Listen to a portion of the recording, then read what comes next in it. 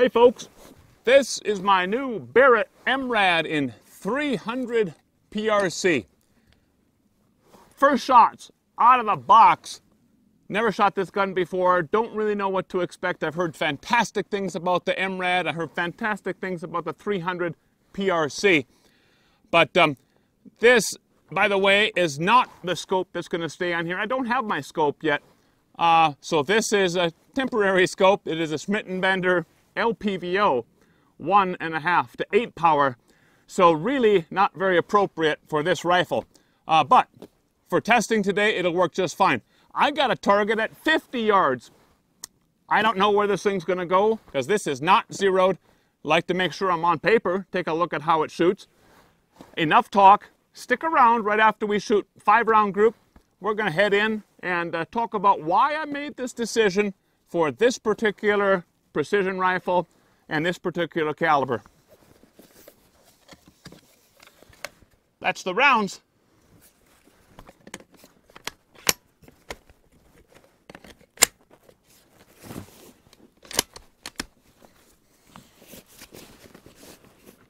Going hot.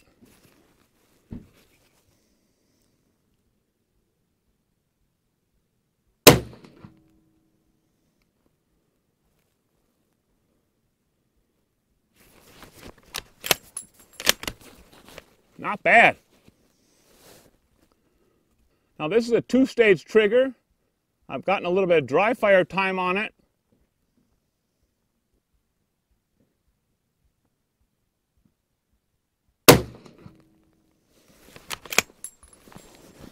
Now I'm accustomed to the 338 Win Mag, 7 millimeter mag, uh, so I'm not, I wasn't too worried about the recoil. This is about a 14 pound rifle plus this. Recoil is very manageable, not a problem. Some of that, of course, is in uh, how you position yourself to absorb that recoil. It's round number two.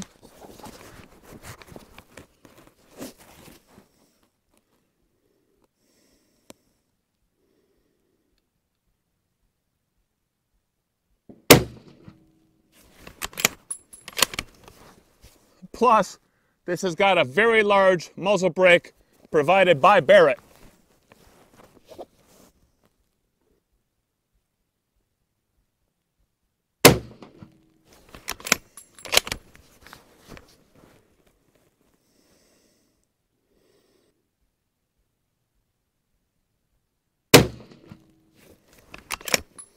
Does her.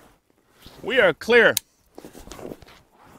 No problems whatsoever piled up my brass in a nice little pile too, by the way. Very nice trigger. This trigger is adjustable. It, I like how it was set at the factory. And um, let's walk up and see how it did. I hope I'm on paper.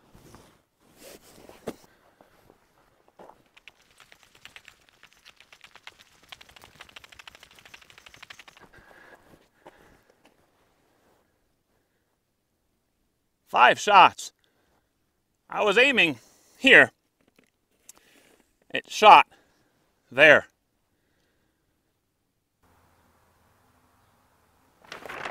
Now that is a nice group. Let's take a look more closely. Now the Barrett MRAD actually comes shipping, shipped in this very nice Pelican case. Kind of fitted to it already, not quite as fancy as the Mark 22, uh, very, very perfectly fitted case, but certainly a very nice uh, case here. And it comes with two 10 round magazines with uh, room to add four more. Each of those mags, by the way, will cost you about uh, 80 to 85 dollars based on the uh, the caliber. But for this 300 PRC, that's kind of what it's looking at, or what, what we're looking at. Let me go ahead and lift this rifle out of the case so we can look at it more closely. This is the MRAD multi-role adaptive design rifle. It's a bolt action precision rifle as you already have seen and figured out. And you know there's there's quite a number of very nice videos doing very extensive reviews on this rifle already. I'm going to hit some of the high points, try to make it relatively quick, put out a bunch of information for you we'll start by looking at this rifle from the butt end to the bore. Uh, as you can see, this MRAD has a folding stock and it just pops out, locks into place, a little bit of a click right there. Now, to lock it, or to unlock it, I should say, just pushing this button right here will unlock it, and then the bolt sits here, just kind of snaps in place. Again, a nice little pull, snap it, you're closed. This is a fully adjustable stock, adjustable cheek piece right here, adjustable for length of pull, quite a number of adjustments here for length of pull, and also adjustable for the height of the butt uh, pad itself.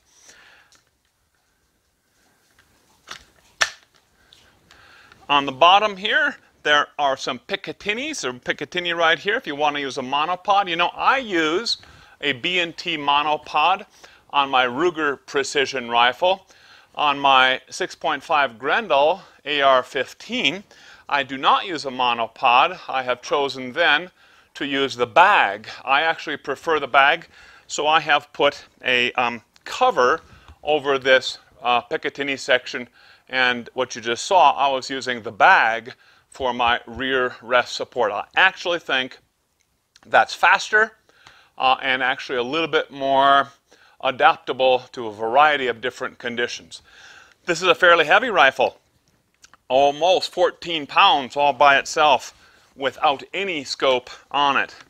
And uh, that weight then uh, helps to absorb the recoil of the larger calibers that this rifle is available in. Now there's another sort of an MRAD rifle. It's called a single mission rifle, SMR. The difference with that is number one, couple thousand dollars difference in price. Number two, it does not have a folding and uh, a folding stock. And number three, uh, it is not available in uh, swappable calibers. This one, if I remove these bolts right here, follow the instructions in the kit, I can completely change this rifle. You may have seen some videos on this person can completely change this rifle from the 300 PRC that it's in right now. If I bought the 338 Lapua barrel kit for about mm, $2,000, right around there, change the barrel, change the bolt, change the mag, I'm now shooting 338 Win Mag. I'm sorry, uh, 338 Lapua.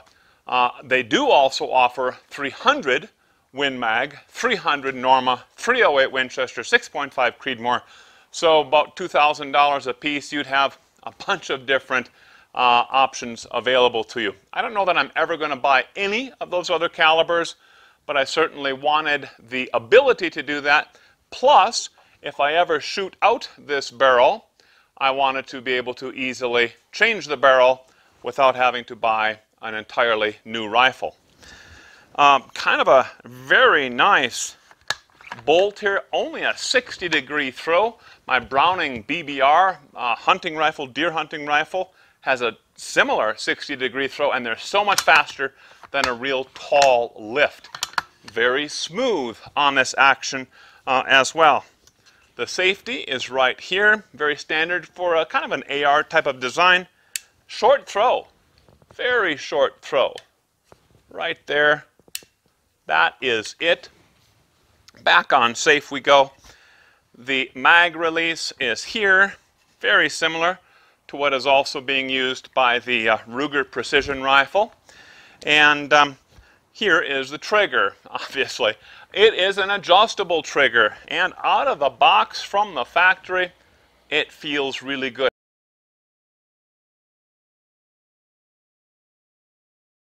All right, let's give this a try and actually test this trigger. This is a two-stage trigger.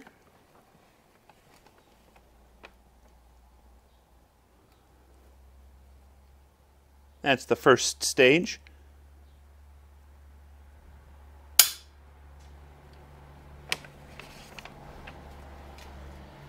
That's about three and a half pounds.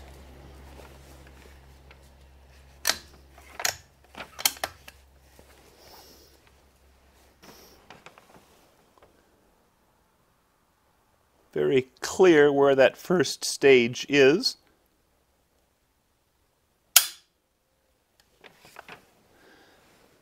That's also about three and a half pounds. It is different by a tenth of an ounce.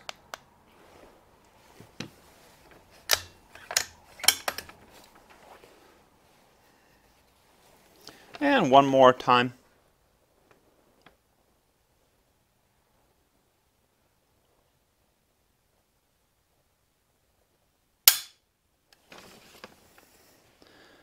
A little bit lighter that time, 3 pounds 2 ounces. That gives us an average of 3 pounds 3.9 ounces. Okay, well, breaking this rifle down for cleaning or any other sort of maintenance purposes, relatively simple. Let me tell you, this rifle is machined so tightly, such close tolerances that pretty much, because it's so new, brand new, um, it takes a little bit of work to break this thing down. Right here is the button that's used to remove or to release this thing. We're going to do that. We do that in the bolt open position press this. Uh, that then allows the rifle's upper, we'll say, to release from the lower. And then just like an AR-15, we push this pin. Uh, it's a captive pin. Pop it out, and this large upper will remove from the lower. Again, lots of videos out there on that. I'm not going to demonstrate that. Picatinny's uh, all along the top, and they are numbered. That is cool. I really like that. This um, handguard right here is an M-LOK style handguard here at the 3, 6, and 9 o'clock positions. I have placed a Picatinny section. You get several of these Picatinny sections from Barrett when you buy these things. I've placed a Picatinny section right here. And uh, now you might be saying, gee, why didn't you put it all the way out here. It's better to have it all the way out there. Well, uh, it's better in some ways, worse in other ways. I put it here, and oftentimes I do place it back on all of my rifles because the bipod that I'm using, it's an Accutac bipod, has adjustments for cant, tilt, uh, as well as uh, being able to swivel, swivel or pivot that rifle. There's two controls on that that sit right about here.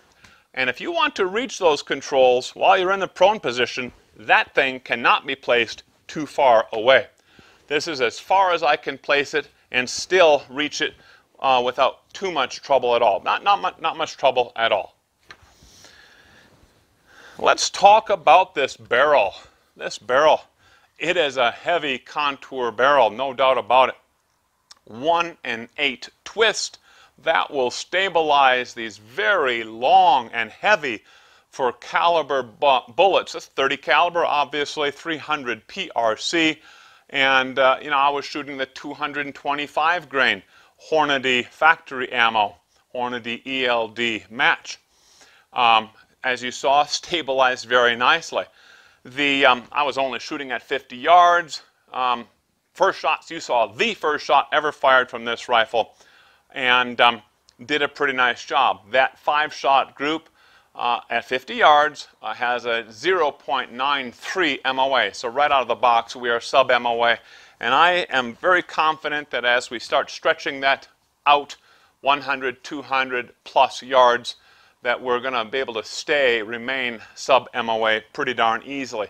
So um, I'm real excited to keep shooting this rifle and see really what its potential is uh, in the future. 1,000 yards, 1,200 yards, possible 2,000 yards uh, shot with a rifle like that, like this, and that's really what this rifle was designed for. Now it's interesting to me when I first looked at this rifle and I compared it with numerous other rifles available in uh, calibers I was interested in, that this one has a fluted barrel. Now, the fluting uh, is used, obviously, to probably lighten this rifle up just a little bit. Uh, some other folks also say that the fluting adds rigidity to the barrel and therefore improves precision. It's interesting because Accuracy International did a study years ago where what they did is they placed an array of lasers all around their barrels. Some of those barrels were fluted, some of those barrels were not fluted, and what they did is by shooting that those uh, rifles, those barrels, they watched how much the barrel moves or whips under uh, the firing uh, condition uh, during firing. And what they found is that they get differential movement um, when they use a fluted barrel compared to a non-fluted barrel. So they have gone to the uh, non-fluted or unfluted approach. Um, the caveat with that is, is if the fluting is not cut precisely all the way around, then you'll get that differential um, movement because that rifle is heating and cooling differentially, differently along those flutes themselves. Um, I don't know if that really is going to be a problem with this rifle. I've got five shots out of it so far, but the stuff I've read about this rifle and seen about this rifle indicate that um, precision isn't going to be a real problem. Now, there are less expensive options than this out there. Uh, I've looked at numerous other rifles, wasn't too impressed with lots of them. And uh, you know, when I ordered this rifle, I had never seen or handled an MRAD ever. I took a chance on it, and I've done that kind of stuff before. I, I'm not disappointed whatsoever. This rifle is about a $6,500 rifle. Still got to put the scope on it, rings and all that good stuff uh, 6500 with the with the tax and all that good stuff. But um, there are less expensive options. Some of those are really, really light rifles, and I don't think I would want to shoot that caliber in a seven or eight pound rifle. I've seen some out there. I appreciate that this is, you know, about 14 pounds, 13 some pounds. Now, on the end over here, we have a factory installed muzzle brake. And it, it's pretty effective. Of course, I haven't tried shooting this without the muzzle brake, but it certainly seems to be very effective. The recoil uh, was, you know, quite a bit more than what you're going to get with a 308 or shooting my Ruger precision rifle, uh, shooting any of those kinds of things. It's going to be a different recoil than if you're accustomed to using semi-automatic AR-15s and AR-10s. There are some very large uh, AR-10s that are made, essentially AR-10s that are made out there, uh, even all the way up to 338 Lapua.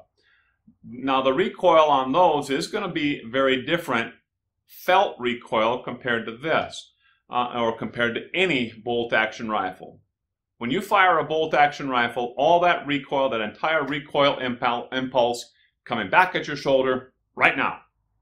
There's no delay to that. Uh, with a semi-automatic, uh, whether it's a direct gas impingement or a piston design, the, that recoil impulse will be slowed and actually extended over time. So it's going to feel like it's a softer recoil with a semi-automatic. Some of the concerns, of course, with a semi-automatic is it really is not as strong of an action as a bolt action.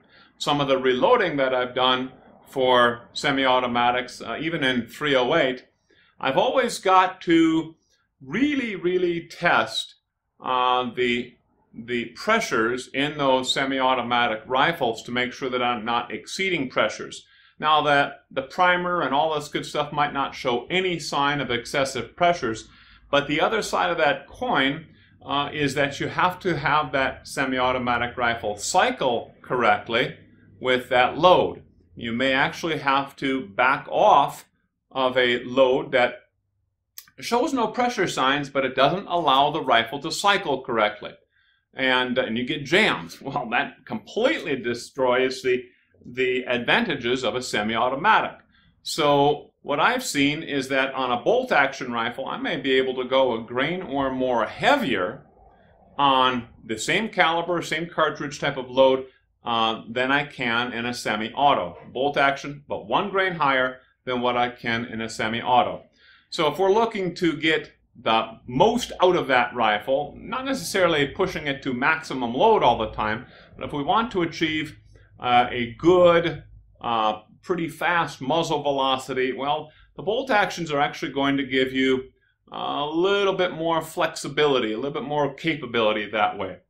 Well, I think that just about wraps up my kind of a quick, maybe not so much quick review of the Barrett MRAD rifle. If you have some questions about it, pop those things into the comment section below. I'll try to answer those as quickly as possible. And thank you for watching.